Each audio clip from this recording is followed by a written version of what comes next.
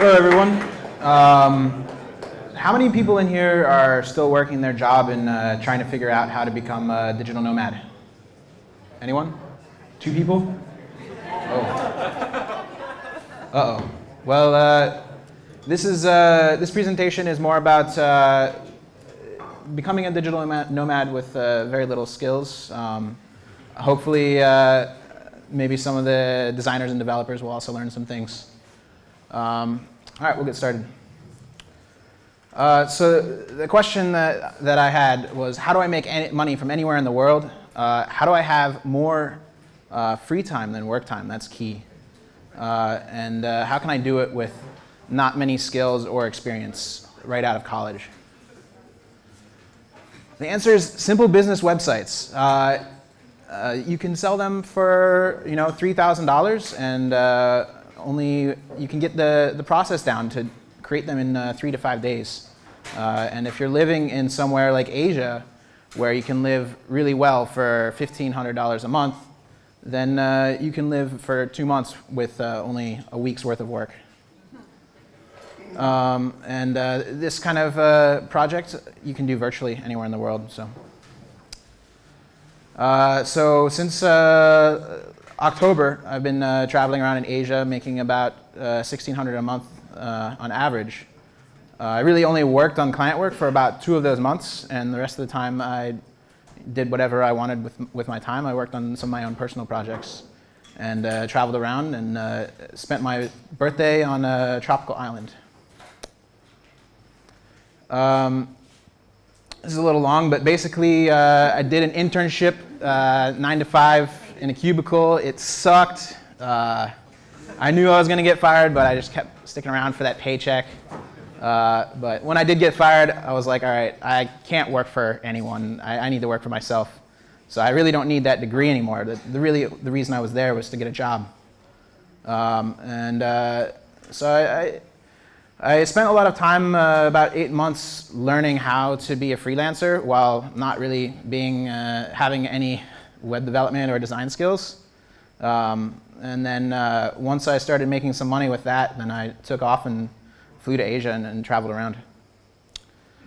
Um, so yeah, in, in, those eight months, I kind of learned the, the most common websites uh, that you'll see, um, the website projects. Uh, and I, I, started out selling a website for $400. Uh, and then uh, went from there and up to 3,000 for the same basic website. Um, so these are the, the types of sites that I generally saw. Uh, you have like the, the brochure site that you can uh, do with a template that's very simple. Uh, the brochure site that's more of a custom design that you need some skills to uh, create. Uh, the enterprise sites, which are a lot more work and a lot of custom code. And then uh, the web apps, which includes like e-commerce and the more advanced web projects that you'll see out there.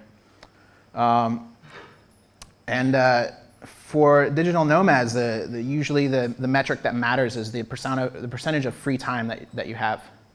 Uh, and I found that these brochure sites that you can create with a pre-made template that you buy on the internet, uh, they have the highest percentage of free time that you earn.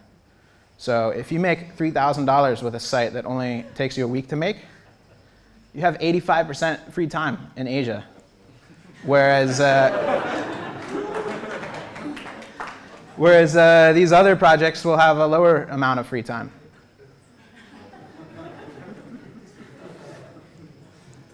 So how do you go from not having any skills and uh, not having any money to making uh, $3,000 for, for one site.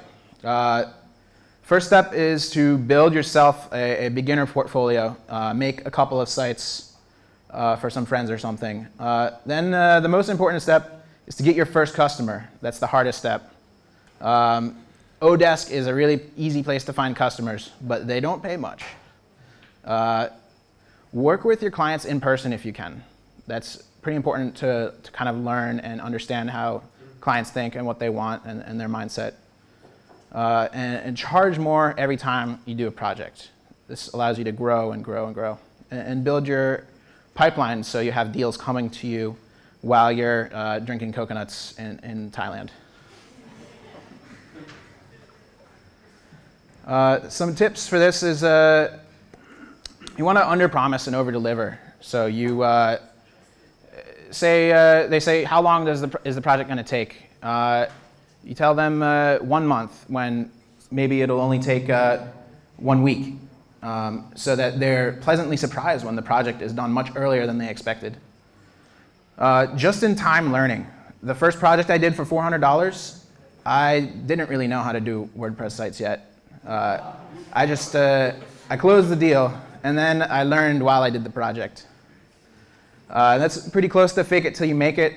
Uh, you, you, have to exude the persona that you know what you're talking about in order to get deals. It's a catch-22. Uh, just make sure that you learn really quickly so you don't uh, promise something that you can't do. and the biggest thing is getting over your own psychological barriers. So things like imposter syndrome, where you, you, you think that maybe you don't belong or, or you're a fraud. Uh, that's a really important one to get over. And, and once you do that, you'll get a lot more confidence. Uh, so yeah, my, my, first, my first portfolio was uh, just a bunch of sites for, for friends, bands, uh, an author, visual artist, Etsy artist. Really simple sites that uh, I, I did them for free to build the portfolio.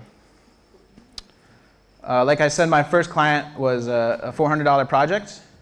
It was a lot, a lot of work. They wanted UX analysis, they wanted design, they wanted custom code, they wanted copywriting. And I had to learn all of these skills while I did the project, which took me over one month. That was not something I could sustain. My second client was, uh, it required a lot of really advanced CSS, which I also had to learn on the job. Uh, also not enough money to sustain me. Um, so you charge more every time, and, you begin to find the limits. You begin to see the different types of clients. Uh, and you'll begin to see the difference between a bad client and a good client. Uh, a bad client will want the world, and they want to give you $200.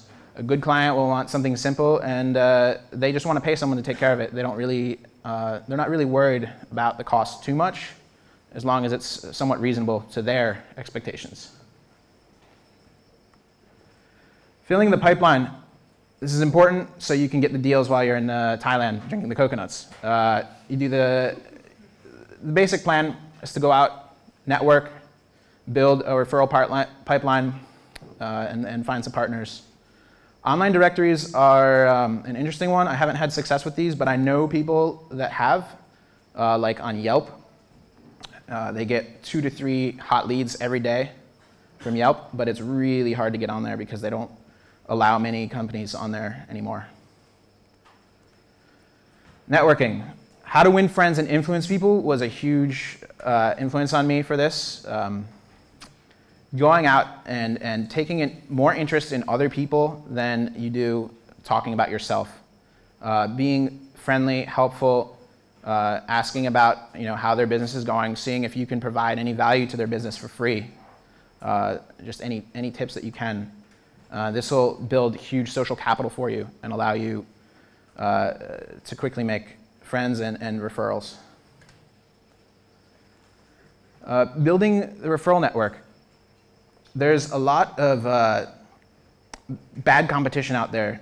They may be good at their craft, but they're not good at communication and they're not good at managing the client's expectations. Uh, the most common complaints that I've heard about other designers and developers is disappearing for periods of times, being unhelpful. Uh, maybe uh, the client wants to change something and they give them an attitude about it. Um, and they say like all sorts of industry jargon like HTML, CSS, and the code and the server this and blah, blah, blah. Clients don't understand that usually. They want things explained to them very simply in everyday language. And if you can be super helpful and friendly, that will get you above most of your competition and it'll get referrals coming your way rather than your competition. Partners is an interesting avenue. Uh, if you have uh, skills such as design or programming, this is probably a better method. Um, because partnering with designers, marketers, or developers, uh, usually there's going to be bigger projects, more on the enterprise level. But at the same time, these agencies will want someone that they can trust to refer the smaller projects that's in the 2,000 to 3,000 range uh, that would be ideal for you. So if you can make the relationship there where they, uh, they trust you and they can refer you these smaller projects they don't want, then that can be a good source of uh, referrals for you. Closing the sale. This is important because this is how you make money. Uh, so first, uh, you get the lead in your inbox. And uh, since it's a referral, it's going to be a hot lead. They're, they're already interested in working with you. So you go into a discovery meeting. Uh, you discover the goals of the project. What do they want to do? What are they trying to do? What is what they're asking for the actual correct solution for what they're trying to do? Um, and from, from that, you uh, help them create the, the site map or the information architecture, the, the, the general structure of the site. Uh, and you figure out what kind of design aesthetic they want. Uh, do they want a modern site? Do they want um, something else? I, I, only do modern sites, so. Uh, and uh, before you give them a proposal, you should establish a conceptual agreement where you've uh, agreed on all the various uh, parts of the site and you've already talked about pricing. Sending a proposal with the price in it before you've talked about it is a really good way to really turn a client off and, and get them to not take your proposal. Uh, for the proposal, you don't need to go crazy with it. Um, nobody's going to sue you. Uh, it's, it's, a $3,000 site. It's, it's really not a big deal. You don't have to define every little thing. Just keep it simple. Make sure that what you've discussed is reiterated in the proposal. Uh, and uh, you've already talked about it in the meeting, so it's just rehashing it. Um, most important thing is to get paid before you start. Clients will sign a proposal and then change their mind a week later because they haven't paid you yet, so it doesn't count. Uh, so just wait until you get that first check because that's a real solid indicator that they are actually interested in working with you. That's what really counts. So making the site. Like I said, you can make a site in three to five days uh, very easily. Uh, first step. First step is uh, domain hosting and installation. Uh, you should, if you don't already know how to configure domains, you should definitely learn this uh, because that is really confusing for clients and you need to know how to handle this. Um, shouldn't take you more than a week to figure it out, but it's definitely important to know. Uh, if you can convince them to sign up for WP Engine at $30 a month, do that and give them your affiliate link because then that's an extra 150 bucks for you. Uh, otherwise, I like a small orange or liquid web for uh, WordPress hosting. Content. The most important part of the site is the content, not the design. The design is informed by the content. So it's important to know who's writing the content. Is it the client? Usually they want to, but they may not be good copywriters. Um, the, the site will be better for them if you can convince them to work with a professional copywriter. Uh, if you're writing inclined, then that's a service that you can offer. Uh, but otherwise, you'll meet uh, plenty of writer friends traveling around Asia doing uh, something similar to you. Um, general guidelines that I give clients when uh, trying to figure out the information architecture and the content for the site is one page should have one goal or purpose. Uh, of course, the, the modern like homepage scrolling design is kind of the exception to that, but when you're having a multi-page site, every page should have one goal and not be cluttered with all sorts of different calls to action and headlines and uh, different things grabbing for your attention. The themes. Once you figure out the aesthetic that the customer likes. Uh, you can go on ThemeForest and browse all of the themes that they have available there and find something that fits with the customer's desires. These themes cost you $50 and uh, they look amazing to the clients. They love it. Um, my favorite theme is Enfold from ThemeForest. It's pretty flexible and it kind of it has a back-end kind of uh, drag and drop interface that makes creating the content uh, pretty easy. OptimizePress is another good one with a drag and drop maker uh, that's focused more towards internet marketers and landing pages. The plugins. There is a plugin for pretty much everything. You almost never have to do any coding, even with some light uh, additional functionality than a brochure site. Um, just Googling around, going to Stack Overflow, uh, searching the WordPress repository, um, even uh, looking at paid plugins, uh, you can usually find something that does exactly what you want it to do. Um, I offer uh, all of my all of the sites that I make. I, I let the clients know that they're secure sites. Uh, none of my sites have been hacked. Uh, it's just because I've installed this plugin, iThemes Security, and, and configured it. Um, that, that does, it's the 80-20 of securing your, your WordPress site. Uh, I also uh, reiterate to all of the clients that I provide speed enhancements uh, through the WordPress caching, also done through a plugin. Uh, and Gravity Forms is magic, absolute magic. If you have to do anything with a form, just use Gravity Forms. It does everything for you.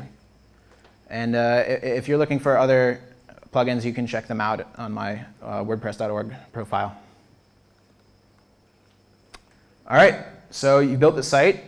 It's time to publish it. Uh, make sure that you get paid first, because uh, once you publish it, you don't really have much control over uh, influencing the, the payment timelines. And uh, you can go drink coconuts on the beach. That's all.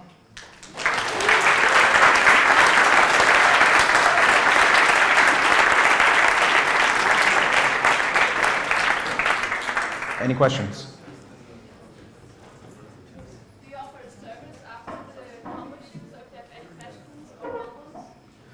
Um, I found that these, uh, this size project, they are very resistant to doing ongoing services.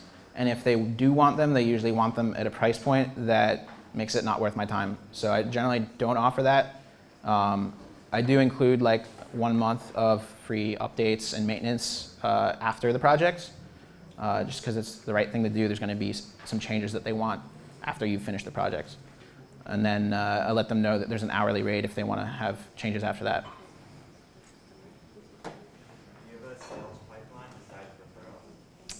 Uh, no, not at the moment. Um, yeah, there, I mean, you can uh, you can go into internet marketing and, and trying to do SEO or whatever, but I found that those venues are, there's a lot more competition internationally. And if you can build a, a, local referral pipeline, there's much less competition because the rest of the world isn't there. Uh, what do you think about outsourcing the, the coding? Yes, that's, uh, that's actually what I'm doing now. Um, once you uh, want to move up the value chain and go to these bigger like enterprise projects, uh, hiring people on Odesk or Freelancer is a great venue, but you have to be very careful who you hire. Um, there's uh, some hiring processes that can help you find uh, really good developers that you can outsource with. Um, for these things, uh, I know that there's um, like some services that will uh, help you create like the simple websites like this, but I found that the margin was pretty big and just the time that it took to explain the project was almost as long as it took to make the actual site whoever Patrick's, whoever Patrick's pointing to. Mars. Mars. So uh, when you say like uh, clients pay you first, it's like full sum or like 50%? Good question. Um, when I uh, send them a proposal over, I give them two options. Uh, I say you can pay 50% right now on, on, project initiation and 50% on a specific date. Uh, I don't say at the end of the project because that can last that can drag on forever based on like one piece of content. So I say, all right, I'm gonna, I'm gonna finish this project in two months for sure, so you have to pay in exactly two months.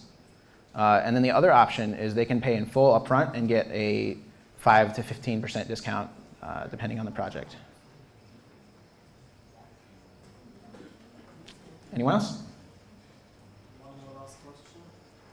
Uh, how do you acquire new leads during your traveling?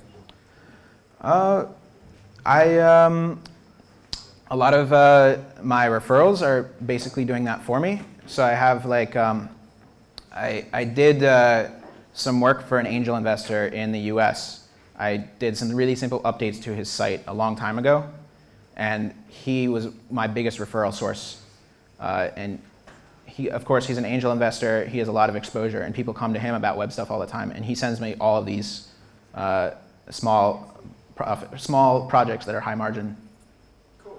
Um, but also, I travel around to places like Berlin and meet new people and uh, get new projects. But you do know SEO or pay-per-click stuff, or uh, you're not so much into online marketing or web-based lead generation. No, I, I know how to do these things, but it's not something that I want to provide uh, to clients. Um, it's a good recurring, recurring revenue source for sure. Uh, but no, there, but for you, for your project. Oh, for my projects, no. Uh, just because there's so much competition, Yeah. I just don't want to. I don't want to compete with the entire world on that. And you uh, pay your referral givers, or it's just No, I mean uh, these projects are, are are so small in the business world that this is like they're just doing someone a favor by referring them to me, and they're doing me a favor by referring them to me. So, Okay, thank you. yep.